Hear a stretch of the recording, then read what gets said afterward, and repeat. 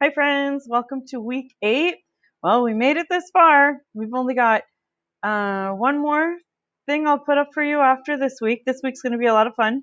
And after this, I will put up a choice board for you for the summer. So you have lots of fun stuff to look forward to.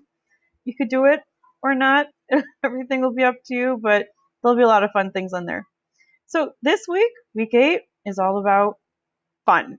You have made it this far. We are just going to have fun this week. Um, so your music lessons are going to be for um, kinder and first grade. You will be learning about sound effects. You're going to have a lot of fun with it. Uh, second and third grade, you get to be superheroes. It's going to be a blast.